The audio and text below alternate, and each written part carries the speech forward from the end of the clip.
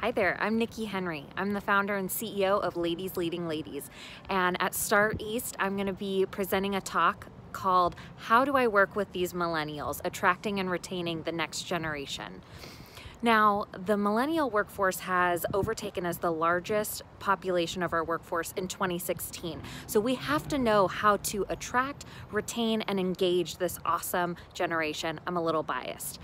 Now, there are a couple of things that we really have to take into account for all of these generational differences. And with the millennial generation, they're really focused on having a passionate work experience. They want a culture where, where they feel like they're valued, where they have an opportunity to innovate, and where they have an opportunity to do work that makes them feel like they're making a difference. So we're gonna get into the nitty gritty work of how you mesh all of these generations within your workplace and really get you set up with a great strategy on how to retain, engage, and attract this millennial generation. Can't wait to talk with you all then.